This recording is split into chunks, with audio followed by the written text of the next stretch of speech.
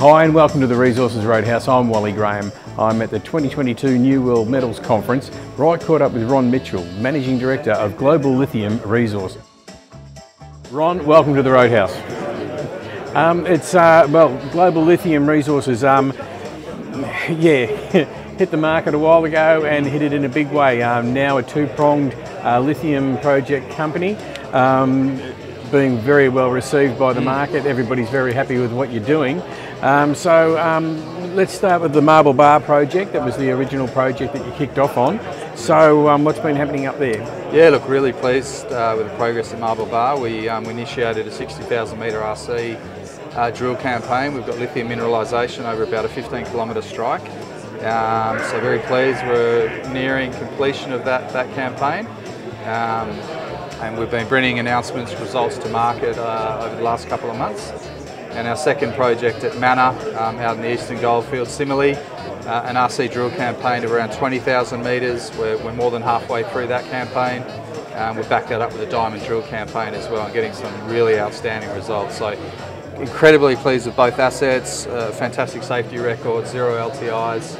Um, we've got a really ambitious and um, a fantastic drilling team assisting us, so very pleased. All right, so let's talk about the numbers you've been getting in the drilling. Uh, so are they more favourable at one at the other? You know, is, is one sort of going to be the, the, the, the darling child as yeah. opposed to the other? Favourite child, yeah. I often get asked that question. Look, um, too early to say. Obviously, we're still bringing the results to market. Um, but importantly, we've got JORC compliant resources at both assets. Um, 10.5 million tonnes uh, up at Marble Bar and about 10 million tonnes uh, at our Manna resource. So we'll be announcing quite a significant resource upgrade in Q4 this year. Um, Optiro is helping us uh, with that resource upgrade, so we're very optimistic. We'll be announcing something uh, quite special in Q4. All right, and, um, and it's interesting too. Okay, so you're up at Marble Bar, you're also in the Goldfields, and, and two totally different regions you know, historically, mm. um, and and uh, bringing up the the one modern uh, um, element, let's say metal. So uh, yeah, doing some interesting stuff in old areas.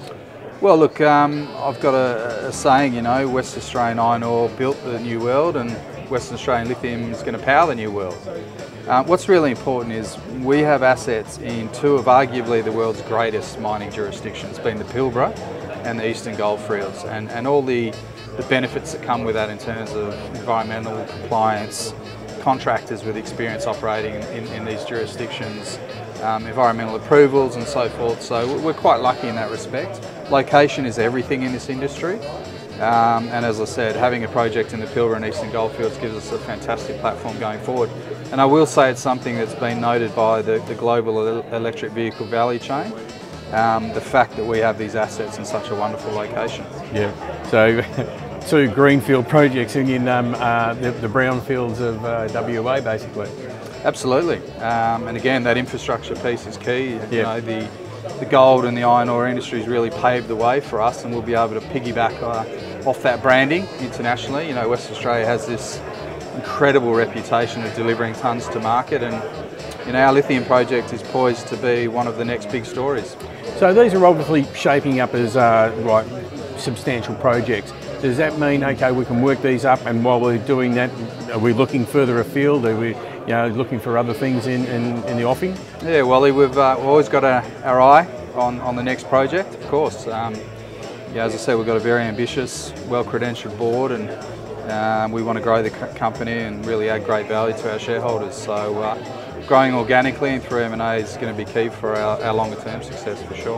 All right, well as I always say to everybody, keep us up to date at the Roadhouse with what's going on Will so we can keep everybody else up to date. But uh, until we speak again, Ron, it's, uh, no yeah, thanks for visiting. Thanks, Wally. Cheers, mate.